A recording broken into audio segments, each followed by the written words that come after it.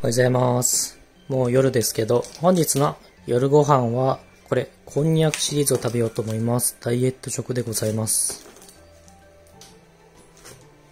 お客様、どうもこんにちは、かずよです。今回はですね、朝ごはんと言ってもまあ僕はさっき起きて、今時刻19時半なんですけど、まあ夜ご飯ですね、食べようと思います。でまあ僕最近結構ね、太ってきたってのがあるんですよ。昔の写真がまあパソコンの中であったりして、そういうのを見ると、いや全然痩せてるんですよね。僕今67キロ。僕今身長173キロで67キロなんですよ。まあ特別すごい太っているってわけじゃないんですけど、昔はね、昔というかまあ、7年くらい前は結構ね、痩せてたんですよ。車の運転免許証見ても、最近更新したんですけど、昔の免許証は、すごい痩せてて、いやー、太ったなと感じることがよくあります。ということで今回は、ダイエットこんにゃく食3食食べ比べてみました。まず一つ目は、これ、月のうさぎ、冷やし中華こんにゃくのご飯でございます。まあ普通は麺とかね、小麦粉とか炭水化物ですけど、これは麺がこんにゃくなんですよ。具とかはついてないので、別途用意する必要あるんですけど、まあ僕は具用意するのめんどくさいんで、ほら、物だけで食べようと思います。これが一つ目。もう一つ目は、じゃん、月のうさぎ、うどんですね。こんにゃくうどん。これも美味しそうですね。そしてもう一つは、じゃん、レバ刺しこんにゃく。このレバ刺しのこんにゃくって結構前に流行ったというか話題になりましたよね。本当に本物みたいな食感と味で、もう全然見分けがつかないっていうことで、ネットとかニュースで話題になった記憶があります。で、レバ刺しこんにゃくに関しては、こっち、これは刺身バージョン。で、こっちが焼肉バージョン。ってことで、二つ用意しました。まあ、半分にして一つは焼いたってことですね。焼肉バージョンにはこの焼肉のタレをつけて食べてみようと思います。で、こちらのこんにゃくシリーズ、お値段が、冷やし中華及びうどんが79円、レバ刺しが99円でございます。内容量はすべて 170g で同じなんですけど、レバ刺しだけちょっと高いですね。やっぱ人気だからかな。じゃあ食べてみましょうか。まずは冷やし中華。そして、それぞれの袋にタレがついてました。だから別にこれだけで、これ買えばそれだけでもうすぐに食べれます。調理はもう水でちょっとさらって、洗って、もう完成です。いただきまーす。ごまだれ味です。うん。うん。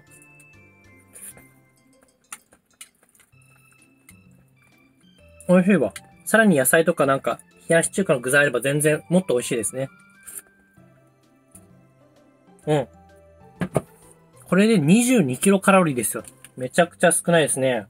そしてお次は、うどんでございます。こちらにもタレがついておりました。いただきます。うん。こちらはちょっとあっさりした味付けですね。でも麺がね、ほら、きしめんっぽくてね、美味しいです。うん。うまいわ。で、こちら、レバ刺しです。これも、同様にタレがついてました。ほら、見た目は結構ほら、もうレバ刺し、まあ、ちょっとこんにゃくっぽさというか透明感があるんで、まあ、レバ刺しではないなっていうのはわかりますけど、いただきます。うーん。これはレバ刺しではないっていうのはわかります。あ、こんにゃくだなって。でも、なんか、美味しいですね、普通に。今ってレバ刺し、あんま食べれないじゃないですか。もう自己責任じゃないと。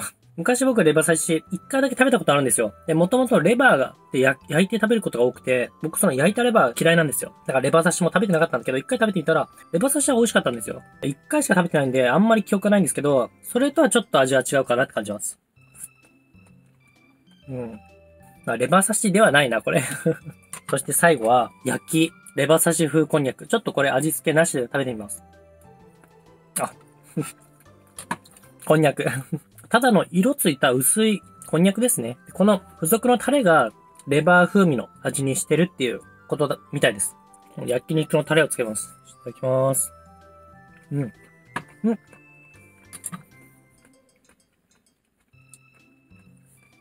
あ、これ美味しいかもしんない。これ美味しいわ。これ、ほら。うん。これ美味しいわ。そして、まあ普通の人であればここで、プシュッっていうビールを飛び出すと思うんですけど、僕はお子ちゃま舌で、ビールは飲めませんので、じゃーん。キリンガラナ用意しました。1.5リットルで150円くらいでしたね。これがうまいんですよ。で、これでカロリーを節約したんで、これを飲んでも相殺してカロリーゼロ、カロリーゼロでございます。いや、これはね、コーラより全然こっちの方がうまいですからね。コカ・コーラ、ペプシ、ありますけど、炭酸飲料の中で、キリンガラナがトップナンバーワンでございます。ああ、これはうまいわ。これは美味しい。じゃあお次は、これ、ごまかけて食べます。ごまはもう健康食品ナンバーワンと言ってもいいくらい超コスパ最強の栄養食品ですよ。肌も綺麗になるし、健康にもいいし、もう最強ですよね。で、ごまはね、そんなに味が強くないので、何かけても美味しいんですよ。まあ美味しいというかあんま大して変わんないんですけど、これをかけてちょっと食べてみようと思います。ほんと山盛りかけても別にくどくならないんですよね。それぞれちょっとずつかけて味を確かめます。じゃあまず、冷やし中華。いただきます。いいっすね。ごまかけても OK。うどん。うん。いいっすね。レバ刺し。うん。焼きレバー。うん。まあ、ごまかけたから味が劇的に良くなるってことは正直ないです。ただ、ごまをかけることでめちゃくちゃ健康になるので、僕はたくさんかけます。まあ、味の邪魔をしないんですよ、ごまは。安いし、ごまはね、そのままパラパラって豆のままかけてもダメなんですよ。ごま自体を吸ってバラバラにして食べないと、ごまってそのまま吸収されずに便として出ちゃうんですよね。だからまあ、こういったごますり器でごまを吸いながら振りかけてあげるっていうのが、まあ一番いい方法です。うん。はい。ってことで今回は3種類のダイエット、こんにゃく食品食べ比べてみましたけど、どれも美味しいですね。まあ正直普通のこんにゃく買った方が安いですけどね。